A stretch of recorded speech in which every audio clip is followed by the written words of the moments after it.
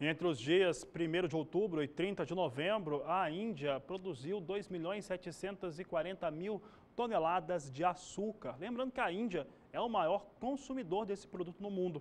Isso representou uma alta de 17% frente ao mesmo período do ano de 2015.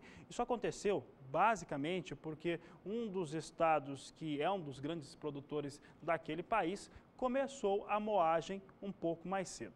Entretanto, o cenário para a Índia não é nada positivo em relação ao açúcar, porque a quebra é bem grande. Mas vamos mostrar primeiro o que aconteceu entre 1 de outubro e 30 de novembro. Temos aqui as informações relacionadas à produção neste período de açúcar na Índia. Em 2015, produziu 2 milhões 270 mil toneladas e agora, em 2016, alcançou 2 milhões 740 mil toneladas de açúcar. Entretanto, a Índia, que é o maior é, consumidor de açúcar do mundo, segundo maior produtor também, quer dizer, tem açúcar ali tem uma importância muito forte.